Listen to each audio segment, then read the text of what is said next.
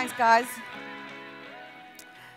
So, um, I think, as Kingsley said, I am uh, quite different, I guess, to what you might imagine from somebody from Dragon's Den. I think if I was to imagine myself, I'm a hybrid of a nurse and a dragon, whatever that might look like in real life. Um, as time has gone on, I spend far more time working in social justice than I do in business. I, I had, up until a few years ago, 15 businesses. I still have two in the UK and three in Ireland. Um, one in the US, actually. Uh, so I'm less involved in business, but I do think that this afternoon, rather than giving you the 10 steps to startup success, which I have done all the work for, for you, I've tweeted it out, the link to the whole thing, so you don't even have to make any notes. I'd prefer to talk about you as human beings and just tell you three things. I think that's the capacity of the brain this afternoon. Just three things that I can tell you that will unite all of you, I hope, as human beings. Uh, the first thing I'd like to say is, is for all of you to have a think about something, because at the end of my session, I'd love at least five of you to come up on stage and answer this question. It doesn't have to be about your business, but if ever there was a perfect time to pitch your startup and your business, it is now. Secondly, I will be talking about confidence being a significant issue and the wonderful thing about plasticity. So if you've never spoken before, if you're brave enough and courageous enough today to stand up, you'll find it an awful lot easier to stand up again when you next do it. I was with a taxi driver the other day, and he told me the whole journey how he was terrified at his daughter's wedding, and he had to drink 15 whiskies and four pints of Guinness before he could get up, and he was incoherent, and he got murdered by the daughter. And I said, you know, it's tough when you're speaking for the first time, and he's given me his change, and he said, and the son got married last month, and sure, I was grand. And I said, that's plasticity. And he said, what? Is it the card? Anyway, so that's plasticity. So if you get a chance this afternoon, I'd say those of you who are sitting in the audience who maybe are probably a little bit frightened of standing up to speak for the first time, at the end of my session, I'm going to dedicate some time. I would like you to capture all of us um, within the first 30 words. So I'm not going to ask you to do a one minute pitch. So when I started out in journalism, if you couldn't answer the question who, what, where, when, and how in the first 30 words, in other words, an attention grabbing first paragraph of a story, then people often didn't read beyond that. So I'm asking you to think about the who, what, where, when, and how of either your startup or maybe you as the startup. I'm hoping I can ignite some of you to think a little bit more about you and your life and where you're going.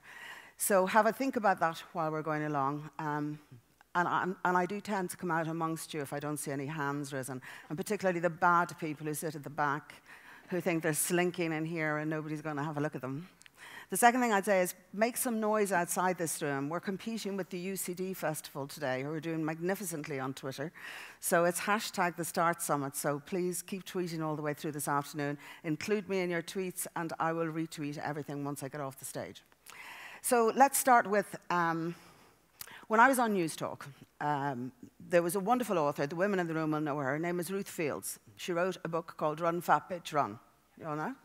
So she followed it up with a book called Get Your Shit Together. And my editor, who's Garrett Harte, said to me, The kids are in the car now and they've been driven to school. If you say shit live on air, I will murder you. So Chris Donahue ran for the hills, go to the toilet, Norah, that one's at you. She's on the phone in North London talking to me.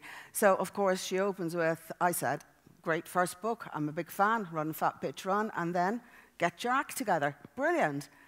No, Norah, it's get your shit together. I said, Yeah, kids in the car now, Ruth, and it's just that time, 10 past 8. Maybe we'll just use a different word. So she managed to say shit about 15 times within the next minute. So I'm only saying that to give myself permission to say everybody in this room gets this shit, and if you haven't had it now, you're going to get it. So when I start talking about the shit that's happened in my life, I'm not making myself different. So I'm recognizing that there isn't a single person in this room that hasn't lost people to grief, that hasn't struggled with issues around physical or mental illness, that doesn't have loved ones who do also. But for me, that sometimes is how you find the measure of yourself as a human being. You know, lots of people will stand up and tell you how to be happy and how to flourish and how to live your life poetically. But actually, at the end of the day, most of us can do that until somebody gives us a side swipe and then we still have to get up and dust ourselves down and get on. It could be the loss of a job, the loss of a career, could be just the breakup of a partnership or a divorce. So for me, the big moment in my life, I was by no means running in the slow lane. I was in the fast lane of life, I think. I thought at the time, running all the businesses in Dragon's Den, dividing my time between London and Dublin, when my husband got very ill. and he, um, he developed a really aggressive form of cancer, and he died within three months.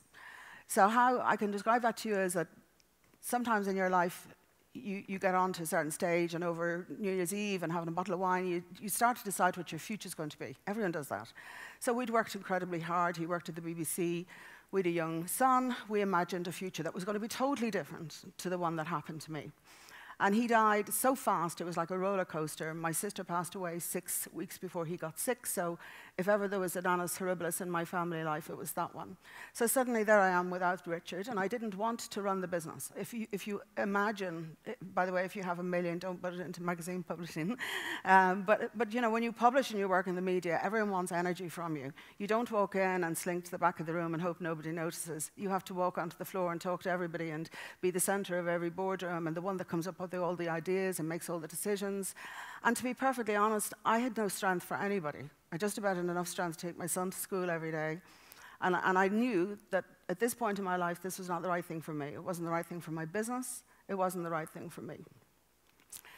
I went on to work, replace Vincent Browne, to replace Ivan Yates. Um, I think for two years, I got up at 4 a.m. If I said to all of you next week, get up at 4 a.m. for five days, you'd probably fall over.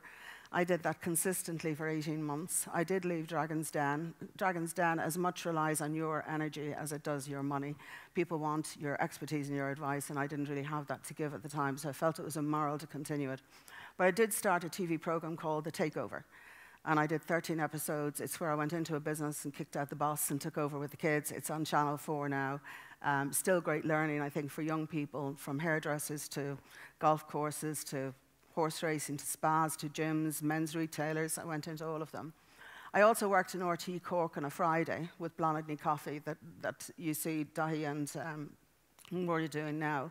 So I did the Friday kind of loose women version down in Cork, and uh, I also wrote my book. So the comedians were saying there's loads of jobs in Ireland, just Norah Casey has them all. there is a reason, though, when we go through terrible times in our life, there's a reason why we might work at that pace for me, in my personal life, when I wasn't getting the fulfillment that I wanted, um, I certainly discovered through almost an accident that if I started to work on my own two feet and I wasn't the queen of the boardroom and I was literally just myself going in in front of the camera, that I could get a lot of energy from doing just that. So it struck me at the time that um, during this crazy period, this phrase kept going over in my head saying, Are you done yet?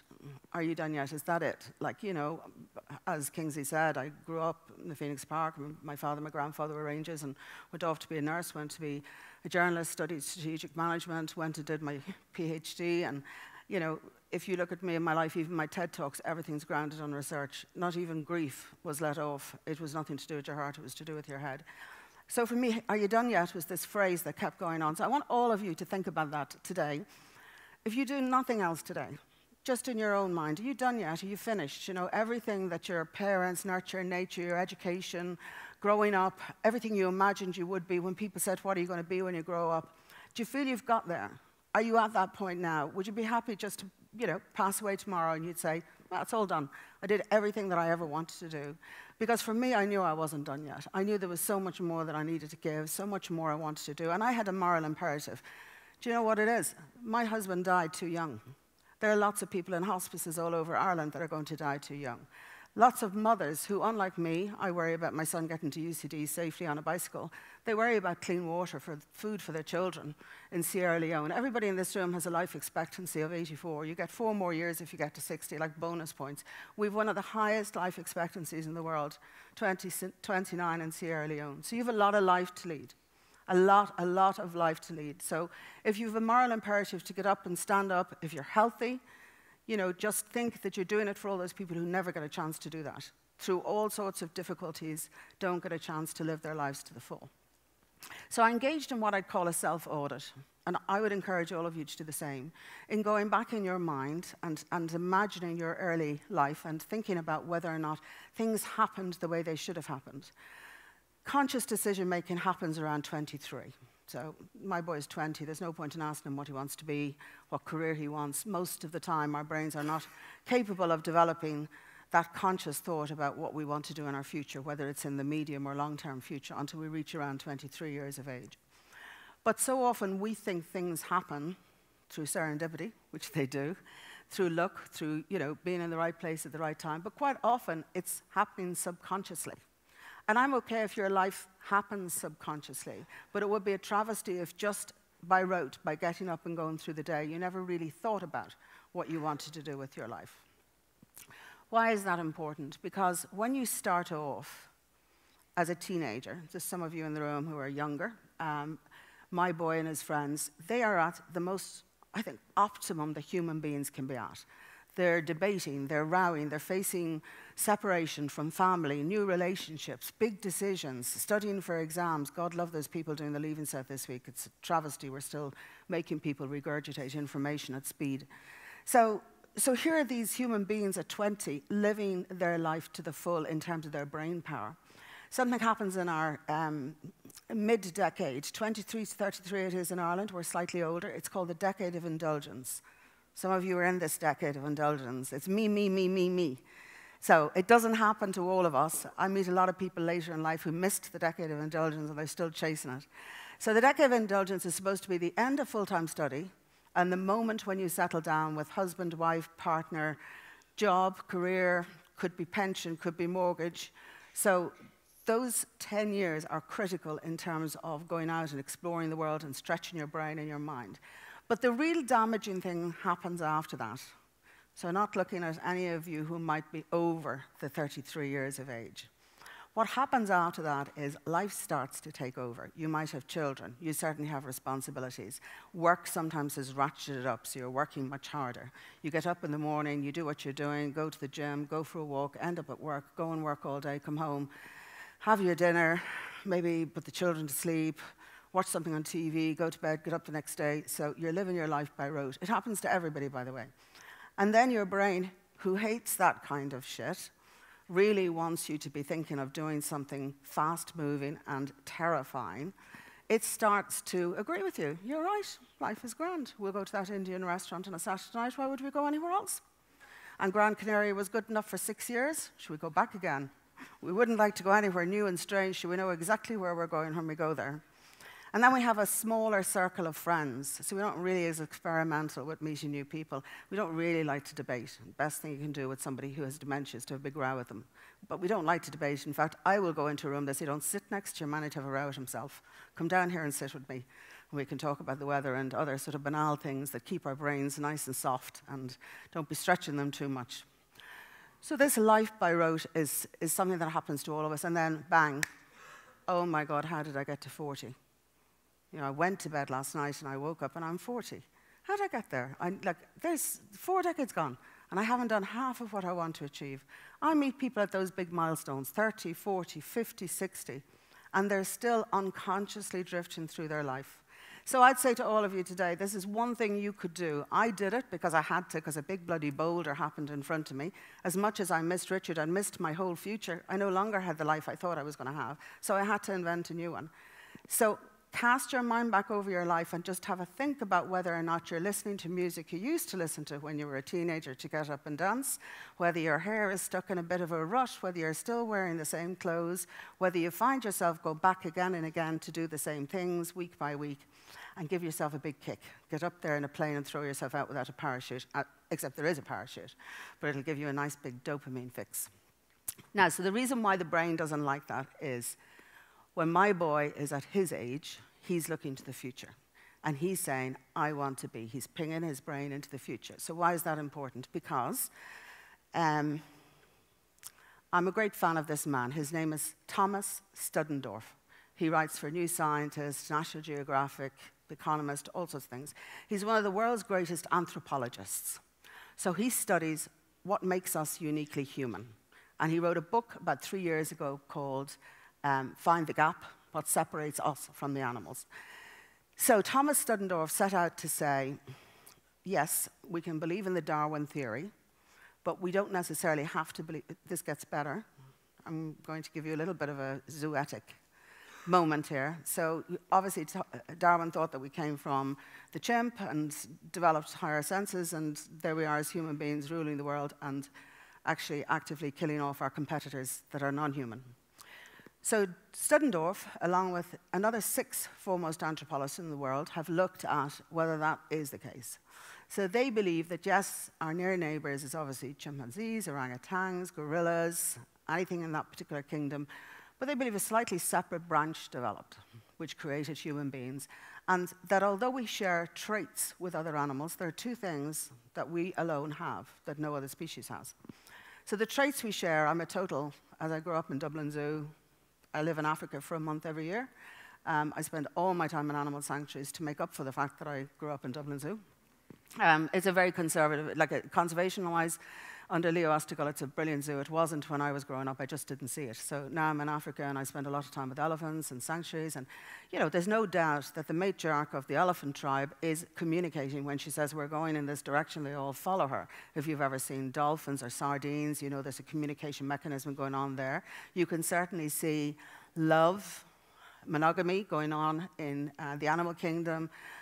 So, what are the two that are uniquely ours? Well, the first one is not going to surprise you at all. As human beings, we are hardwired to swap stories and share experiences just for the sake of it. Not to say, come over here, there's something nice to eat, we're going in this direction, wow, there's some danger, let me tell you all to scatter, just because we like to sit in a bar stool and have a chat with somebody next to us. We have a swarm mentality in terms of talking. All of you here today have been talking to each other, chatting to people on the phone. So, what have the best brains of my generation been doing? Solving cancer? Learning more unique and novel ways to swap stories and share experiences through all sorts of social media platforms. We have to do it. We are hardwired to do it. Hey, I'm up. How's the rest of the world, even though nobody's answering? We have a unique ability to communicate, even when there is no need for us to communicate at all. Uniquely human. We're the only ones who do it. But the second one is the real cool one, obviously. Superpower that's inside all of you that you forget to use. The most unique and brilliant thing that humans possess is called mental time travel. So everybody in this room can ping their brains back to their earliest memory, not the one that your sister or your mother and father gives, but your absolute, genuine earliest memory. Now, the reason why you sometimes remember moving house or the first day at school is if an emotion is attached to a memory, it's in a higher drawer in your brain. So you can retrieve that much more readily. So if you remember the birth of a sibling, or you moved house, or the divorce of your parents, or the death of a grandparent. That's because the emotion attached to it is stored higher. But you have that ability. It's like a little roll in your mind on a videotape. You go all the way back to the beginning, and consciously and subconsciously, everything that you've learned along the way, everything from education, from emotional development, from learning, from your parents, from your cultural values, all wrapped up, sitting in your brain right now, stored in all sorts of little corners of it. But that's not the unique bit at all. The unique bit is that you have the power. Well, actually, I'll tell you two unique bits. One is you have the ability to think of the Steve Hawkins theories. You can go back beyond your own physical memory. You can go back and have an appreciation of Big Bang, of all of the history, not just the wider geographical history, the history of Ireland as a culture embedded inside all of us, maybe the history of your own family, your genes, where you came from, what defines you. But the really unique thing the real superpower is you can ping your head into the future. And through free will, set a course like a mental sat nav and drive yourself towards it. No, no surprise that in, in sales circles, I walked in on a sales conference last month, and the guy up there was trying to sell, it was in LA, he was trying to sell a red sports car to all the sales leaders in the room if they hit certain targets. And he imagined, he got them all to imagine that they themselves were sitting in that red sports car going down the Pacific Coast Highway, no doubt, as it was 98% men with a hot chick on their side, with the sun beaming down on their wind in their hair. By the time he'd finished talking, everybody in that room believed that that red sports car belonged to them. And why is that? Because your brain is a bit stupid and you can trick it into believing that that is exactly what it is that you're going to do. So if you're sitting today and you have no sat nav, you're not going anywhere. Whereas if you meant, well, I'm going to get that PhD, I'm going to marry that man, I'm going to ask that girl out, I'm going to do that exam, I'm going to play in that rock band, I'm always talking about climbing Kilimanjaro, I'm going to do it, I'm doing it in August, if you want to come with me. Um, so, so setting a mental sat nav for your brain is hardwired inside all of you, and you lose it. The whole point of the self audit is to say to you if you're not setting a sat nav, you're actually dwindling towards old age. And even though I showed the good news about our 84 years of life expectancy, our vulnerable life expectancy is really bad. So around the mid 70s, we start to lose our faculties. And do you know why that is? Because we're not using our brain at all. We it's a self fulfilling prophecy. You're sitting there getting up, and I know how hard that is, by the way, because I am that soldier that, you know, a single mom at the moment, you get caught up in work and you get caught up in everything, and you forget that actually you have so much more of your life. The biggest uptake of PhDs is in the over 50s. I mean, even Robert De Niro did a movie on going back and being an intern late in life. You can do anything that you want to do. You should never imagine, you know, my, my, my friends live their life through their children. I say, how are you getting on? Oh, John is doing the Leaving Cert. When that's finished, I'll be grand. How are you getting on? You know, so what happens to some of us who have children is that they become what we always wanted to be. They become the person that you rely on to fulfill all the things that you expected to fulfill in your life. So, uh, number one, are you done yet? Number two, a little self audit. You're only talking to yourself, so you can't lie. Just have a little mental chat with yourself as to where you're at and where you want to be. And then number three, set that sat nav for your brain. Now I'm going to teach you something I never teach anybody because it's a waste of time. No matter how many of you go out there and feel that you're fit and that you go to the gym, there is a muscle inside all of you that is very, very flabby very flabby and very hard for you to make it fit. The good news is if you're under 23, you stand all of the chances in the world of getting this muscle fit. So let me start by asking, does anybody know what blue ocean thinking is? So now we've spent a bit of time talking about you and your brain. I'm now trying to get your brain to think more innovatively, okay? You can think innovatively at any point in your life. It doesn't have to be about creating the big killer idea. It can also be about creativity in your own life. Blue Ocean Thinking, I lecture on it, I speak conferences everywhere on it. I have clients, which include the Four Seasons Group, and we work on this concept of blue ocean thinking. So, blue ocean thinking um, is where you swim in the beautiful blue, clear waters of uncontested space where we all want to be. In business terms, it's finding that unique, beautiful ocean where no one else is your competitor. Red ocean's bloodbath, everyone's murdering themselves. They're killing themselves with price, they're being more competitive. I once had to speak on a stage about what one thing Ireland could do in order to be more competitive. And I said, engage in blue ocean thinking. Because Ireland, we will never produce widgets faster, quicker, or cheaper than other areas of the world. We just can't. We have to rely on our brains. We have to rely on coming up with things that nobody else comes up with. Instead of that, I run a business clinic. What do I get? I have a great idea for a pizza online company. Right, jar. I'll go into villages and they're like, we're decimated. You are, yeah. Four cafes, yeah, but I open at eight o'clock. She only opens at half eight, right? And two florists, yeah, I get those special orchids and I slash the price on a Friday when she gets the new ones in. So there you go, all murdering each other in a, a bloodbath instead of thinking more creatively about what they might do. So young people, when I talk to 12 year olds, 17 year olds, they're fantastic. They grow up on Lord of the Rings and Harry Potter because you have to imagine something that doesn't exist. If I'm working with the hotel industry, we have a blank room, and I say, a stranger's coming to the door, what are you doing? You can't have anything in that room.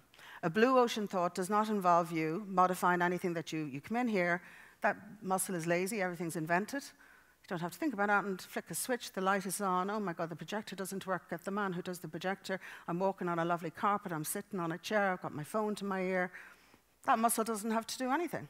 It's all there for you no great revolution going on in terms of new thought processes. So when you're younger, if you exercise that muscle, my son, since the age of 11, has had to give me a blue ocean thought every Friday. It's very cool being my son.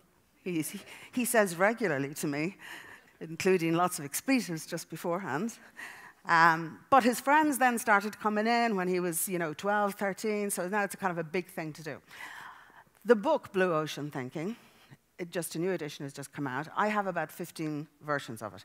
Because if you've ever tried to read Ulysses, it's a bit like that as an adult. And I am one of the biggest students of this thinking you will ever meet, and it still slithers out of my brain every now and again.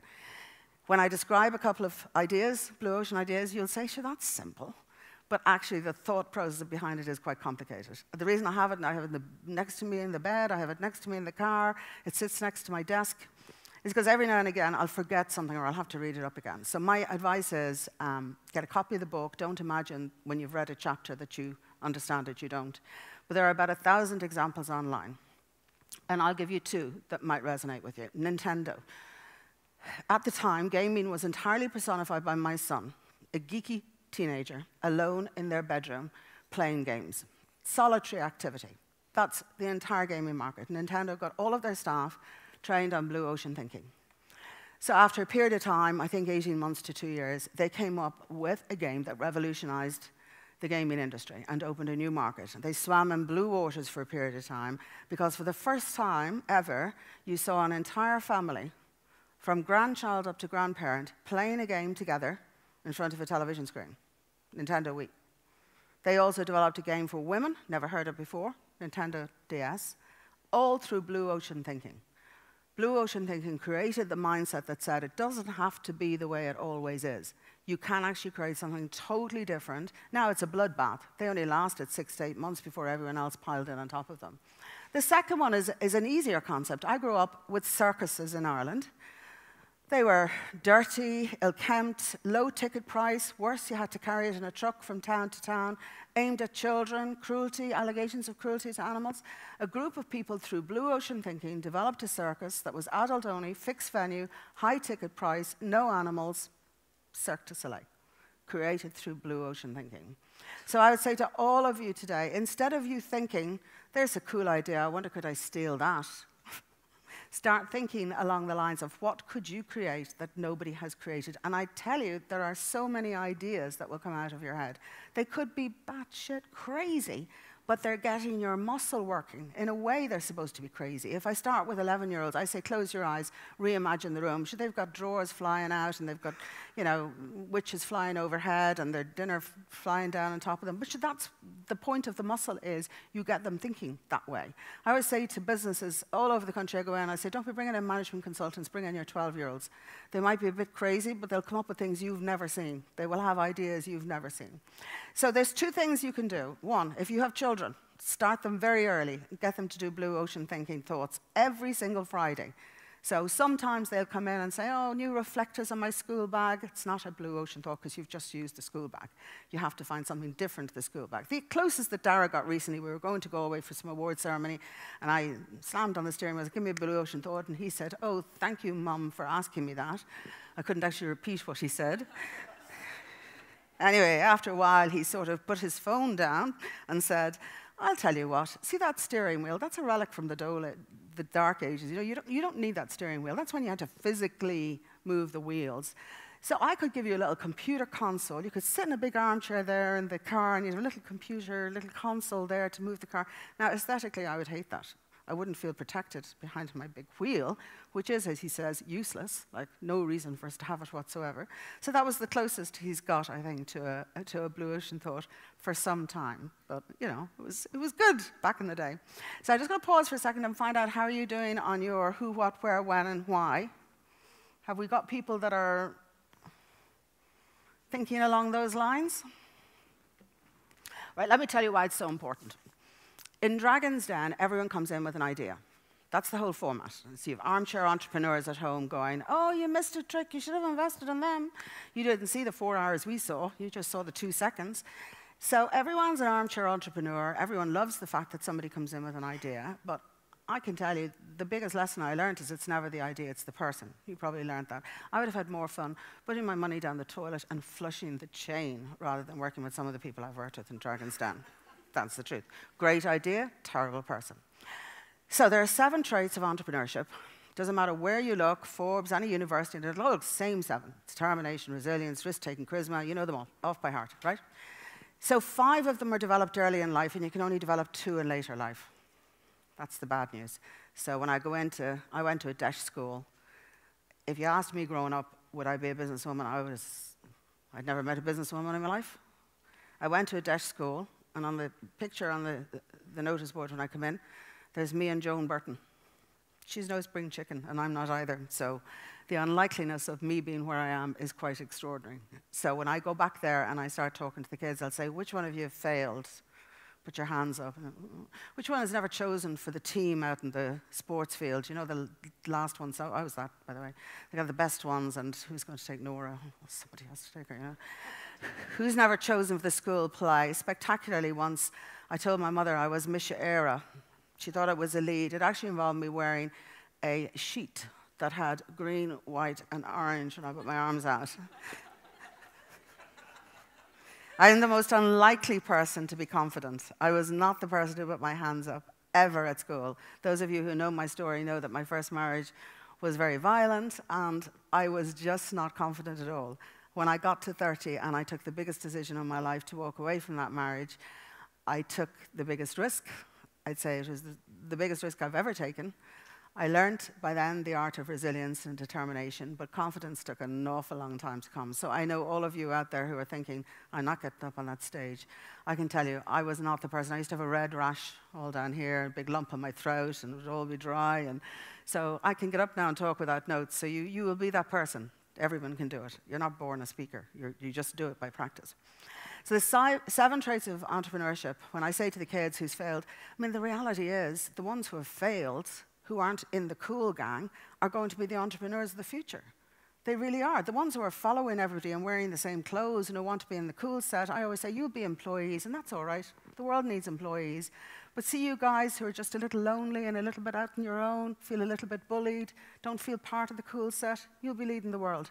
That's the truth. Because we, we end up with young people in their 20s and they've never failed because you know, they had to be A students and they had to be brilliant and they had to be great. And then suddenly, life's just not like that. You know, you go out and you start your own business and somebody says no to your investment and you crumple in on yourself and think, ooh, that's it, it's gone. No, you get up, get up, back in there, start back into the ring again. But we don't teach our young people those things. So these seven traits, the two you can learn in later life. One is confidence. I would love if it, even five of you walked away from here today taking the first step towards confidence. And the second one is adaptability. And adaptability you learn through failure. When I was growing up in business, nobody ever failed. We all did phenomenally well. Now we're shoving each other out of the way, telling you how much we failed. Oh, I failed much worse than him. I'd be here for four days if I told you about my failure. but I'll only say two things. Failure is nature's harshest and best teacher. That's the truth, it really is. It can be tough. But failure is not just about how you fail in business. I've been honest with you today in saying I don't believe what happened to me in my life was a failure. It's just something that happened to me in my life that has happened to all of you in your life. I'm getting up telling the truth about it because I think we don't do any service to society or to the next generation by pretending those things don't happen to us. I mean, I grew up in an Ireland where we didn't talk honestly about domestic violence. We didn't talk about sexual orientation. We didn't talk about alcoholism or mental health issues. I mean, where did that get us?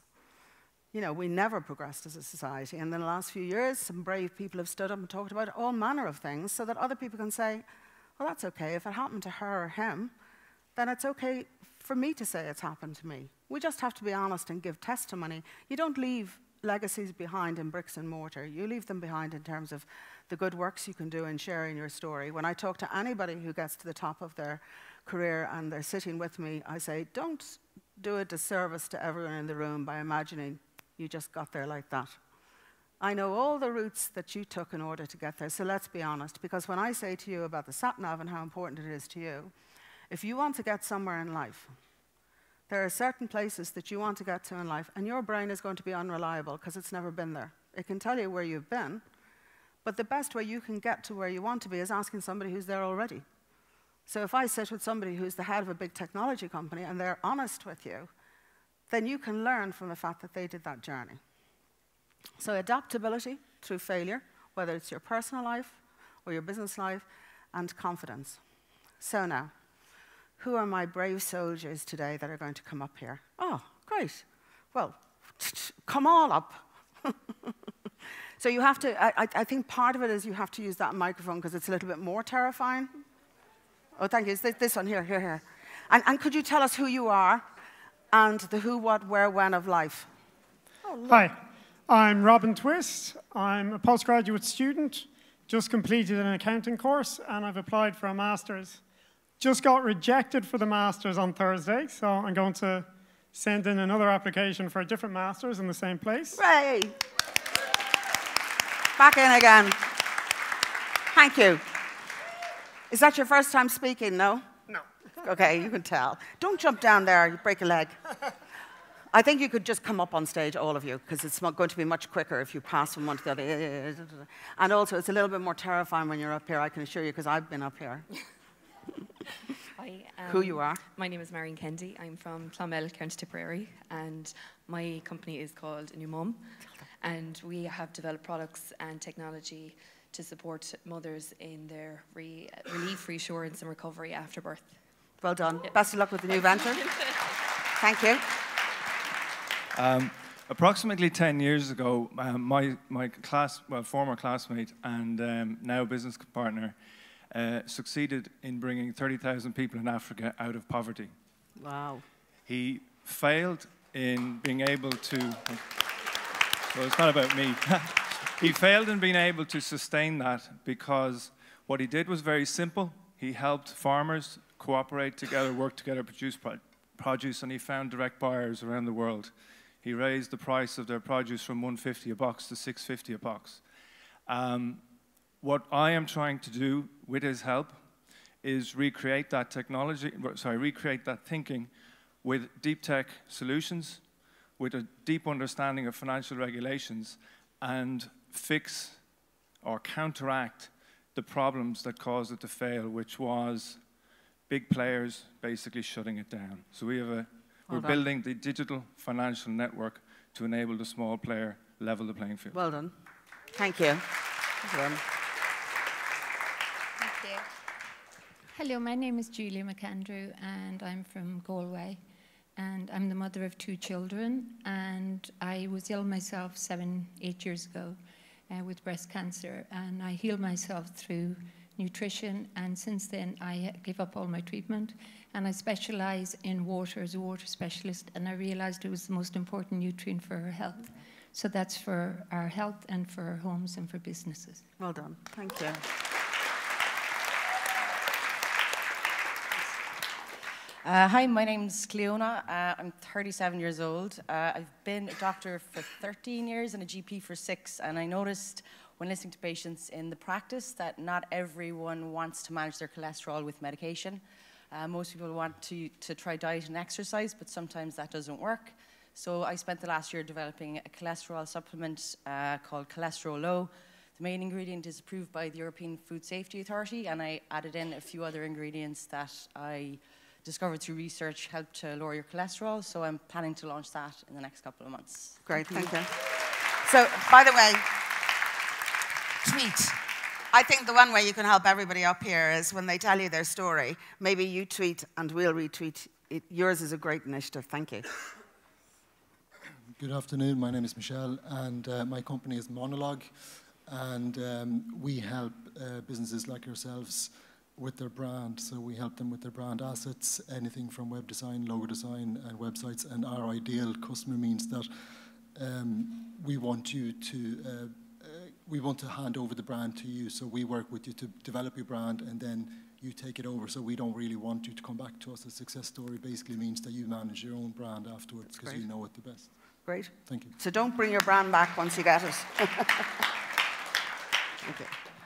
Hi guys, my name is Stephen. Um, for about 15 years, I worked in the IT industry and I was in a rat race. And there's a lot of coincidence what you were talking about, Norah, um, because about five years ago, I got a phone call that changed all that.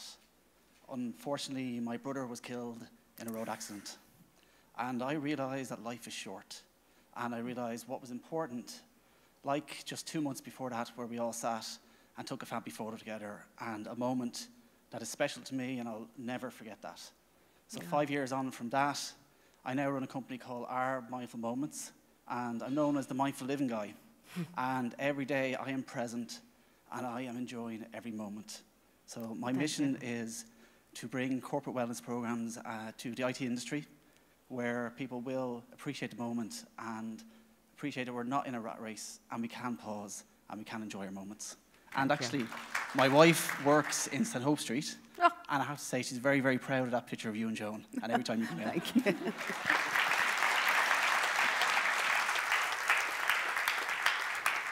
Hi everyone, my name is Angela Burke, also known as the Integrative Coach on, on online. Oh, I know who you are. um, thank you for that. After spending most of my career as a recruitment and employer branding manager in the corporate environment, I decided to use the expertise that comes with that in, you know, having the inside scoop on everything recruitment and how to get the job, um, to start my own business just recently. And what I spend my days now doing is basically helping people to navigate a career or their own business that enables them to live the life that they want to live both personally and professionally. And I think that it's the personal piece that's really important and that's probably why a lot of us are here today trying to, you know, get going with our own business to facilitate the lifestyle that we want to live. Great. Thank you so much. Uh, good afternoon, everybody. Uh, my name is Vignesh Kannan. Uh, and I have a similar story, uh, like a friend, like you know, who came up above. Uh, uh, like I was working in IT industry as well, and I was working as a consultant, and my dad passed away, and I had to kind of refocus and uh, see what, where I wanted to go. And now I work in a completely different industry. It's a manufacturing industry, uh, like you know, setting up the team, like you know, building the team. But I'm also working on myself and an idea, like you know, that I'm pursuing. So, you know, I'm, I'm totally nervous standing here, like, you know, in front well of done. you. So, you know, thank you very much. Thanks. Well Thank done. you. Well done. How is all? My name is Colin. I'm completely out of my comfort zone up here, but I realise it's for the best. You have to do it, you know what I mean? But uh, my idea is to set up a mobile coffee unit. we have a good location picked there in Dublin 7. And uh, the reason why we're doing it is because it's crying for a coffee shop. Um, I have an identical twin brother, similar to the Happy Pear, you know what I mean? But uh, I think we're, we're more like the, the crazy pair, you know what I mean? But, uh, yeah, I'm, I'm a recovering drug addict myself, you know what I mean? And I'm just looking forward to getting, getting on with life and becoming more po- positive and uh, just promote, promoting all the positive things that um, you need to do to recover from any sort of addiction or mental health issues. Thanks very much. Thank you so much. Well done. Hello, how are you? Yeah, how are you? Yeah, hi everyone. Um, I'm Tom Cullen. Uh, some colleagues and I are setting up a crowdfunding platform that's going to raise, allow fundraisers through cryptocurrencies rather than fiat currencies. So just kind of slight twist on an old an, an old idea. So that's it. Well done. You okay? Uh, did a lot of you shower this week? Um, that first shampoo bottle you ever used is still out there somewhere, recycled or not, it's still there. Yeah. Who decided shampoo has to be liquid in a plastic bottle? I'm saying it can be solid, and I can provide it. A hundred thousand household turned into um, swapping to Yanni bars will save 2.4 million plastic bottles every year. I'm Yanni, and this is Yanni bars, Smells gorgeous. and that's for you. Thank you. That's for me. Anything for you? Oh, anyone who's making cakes, please come on. Um, Hi everyone, my name's Patricia Fitzgerald. I've just recently launched um, Cork Card in Cork, that other city further down south. The capital. Uh, oh, we've got some contingent here, good. Um, so if you could please follow me on Instagram, it's at City Card Island. So I'm launching in Cork. Say it again, the Instagram. At City Card Limited. City Card Limited. Okay. So follow on Instagram. I'm launching in Cork, getting it stable there, and then hopefully moving out to um, Dublin and around Ireland. And I suppose the easiest way to describe it, it's like a student card for professional people. Um, you get discounts on restaurants and stuff. It's oh, a yeah, membership card. Yeah, yeah. So, yeah, well done. Thank you. Okay. My name is Miren, and I'm um, working with languages, but I'm here to talk about a book called The 51 Inspired Migrant Women of Ireland. I'm a migrant, the same as many women who are sitting on the table. And uh, myself uh, had the opportunity to write a chapter of the book. That's myself here on a, bicycle. I like dancing as well. But I think there is an opportunity for people who are not born in this country, who maybe made Ireland our home. Maybe English is not our first language, and you can notice my Spanish accent. But we are here together, and there is a group of women here. We are actually a group of women entrepreneurs, migrant women who meet together from time to time. That's meant if you want to talk to me afterwards. But I, I agree with Norah that we need to start from the beginning, look at our memories, and I'm really happy to be here. and You are my inspiration in life. Thank you. Thank you. I met, we met before because I did the Migrant Women's event. Hiya, my name's Dara. I'm an 18 year old from Galway in Ireland. So basically, me and two of my friends set up a digital marketing agency. We've kind of looked around at small and medium sized businesses in Ireland and we've seen that they're not providing value to their audience. So the key we've seen is providing value through content, through video, through pictures, to engage your audience and in turn turn, turn them into loyal customers that you'll have for years to come. So if you're interested in working with us, graftondigital.com, my business partner down the back is there, or you can speak to us afterwards. But thank you very much. Thanks, Dara. Hi, my name is Seema. I'm a physical therapist and a yoga instructor. And I also have launched into being a distributor for BEMER, which is a bioenergy medicine device.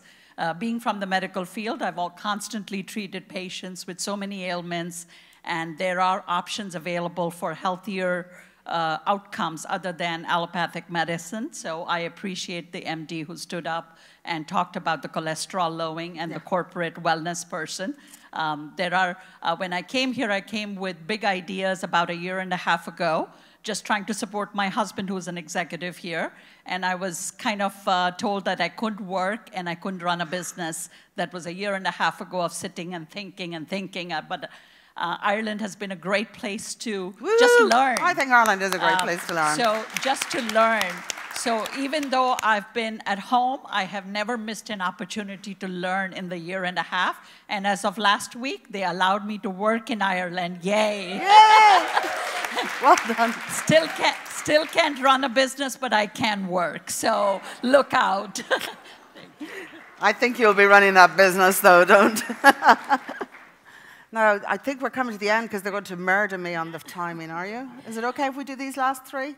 Thank you. Hi, I'm Angelina Ball, um, co-founder and director of Phoenix Interior Design. Um, the reason I'm here today, it was a very successful business for five years, um, but myself and my business partner have amicably split. So I've experienced setting up a company while pregnant, going back to work um, when my daughter was seven weeks old, and the company was absolutely fantastic and had a great experience.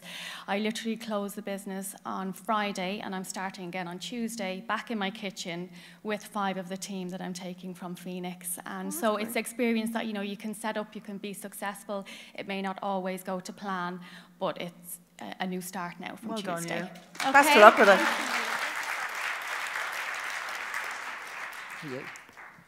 Hi, I'm Stephen Booth. I've uh, survived four startup failures, two of them my own. Still here, and I'm working on another one. Uh, you heard from Tom, uh, one of my co-founders. It's a crowdfunding by crypto startup trying to help everybody else in this room raise money through alternate markets. Good luck, guys. Thank you. How do they get hold of you?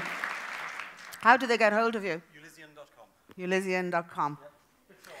Last but not least, and she brought some stuff. A salad. Okay. Save the best for last. Um, guys, my name is Jessica Nolan. I'm the co-founder of Flax and Beets. So basically, it's a functional food company um, what I've brought up here is one of our signature salads. So they're all functional salads designed by a medicinal chef. They each have a specific purpose. So this one here is called Inner Strength. It's designed for beauty and gut health. We have one designed for athletes, for vegans, for brain function, and we have a range of breakfast items and snack items as well with a dinner range coming soon. Um, we're going to be in the next four weeks launching our website, which will deliver these foods direct to offices, homes, whatever. So if you guys follow us on Instagram, it's Flax and Beets. We'd really appreciate it. Thanks so much. Thank you. Well done. Thank you so much. And, and a big thank you to all of you who came up here. That wasn't easy. I know some of you were shaking because you were standing next to me, but you know, it, it, was incredible to do that because you'll never be afraid to do it again once you've stood up and done it here. I'm going to leave you just with one thought, and I never normally quote people, but you know that Einstein quote, and maybe it's a bit cliched if you judge a fish by how well it climbs a tree, it's going to spend its life thinking it's stupid. But that that has always resonated with me. When I was in nursing, I realized after five years it wasn't right for me. Wasn't right for me for all sorts of reasons. I love nurses. I spend a lot of my time with nurses. I switched to journalism, which was really important to me. I discovered very quickly I got a greater kick out of running businesses than maybe working in them and started to invest in other businesses. But also when my husband died, I had to take that decision again. I was the wrong fish in the wrong place, climbing a tree. And I knew that I had to change. And sometimes for all of us, once you've done your self-audit and set the sat-nav, it may mean you have to make a decision about your life. It could be a hard decision to leave work. Sometimes it's a hard decision. By the way, I gave this speech about two months ago and two of my staff left the next day, gave me a big flowery letter saying you're quite right. so, uh, but it sometimes does lead to hard decisions. Maybe moving out of the house, maybe splitting with a partner that's holding you back, maybe letting go of friends that are holding you back. But you know, you have to have that courage. I mean, for me in my life, I've had so many twists and turns. There's nothing normal about my career path. And I still, like, at the moment, I'm filming with Magdalene survivors. So who would have thought that I would spend the whole of the last year working with women who survived the laundries? But I said yes when somebody asked me would I have their, their first ever networking meeting, which happened this time last year. And I have to tell you, it was the most emotional thing I've ever done in my life, probably the most important thing I've ever done in my life. And I've stayed close to them, and now I'm working with four of the women telling their stories. It's going out in RTE, by the way, on the 25th um, of this month. So I think if you're open to the idea that you can achieve the things that you want to do, and you, you think about whether you feel comfortable doing what you do at the moment, whether you're up out of the bed in the morning saying, thank God I'm going in here now to work for the day, you'll, not, you'll know instinctively. Thank you for listening to me, and thank you especially to all of you who come up and spoke. Thank you.